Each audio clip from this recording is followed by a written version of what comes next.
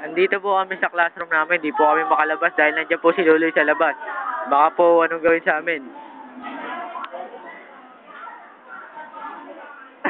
Pare, pare, pare. Si Luloy, oh. Saan? Saan?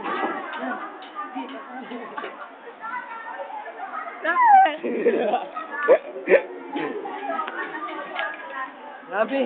Yan, nagsubo siya. Nagsubo natin. Po yung kamay niya po. May ako pong kutsilyo po.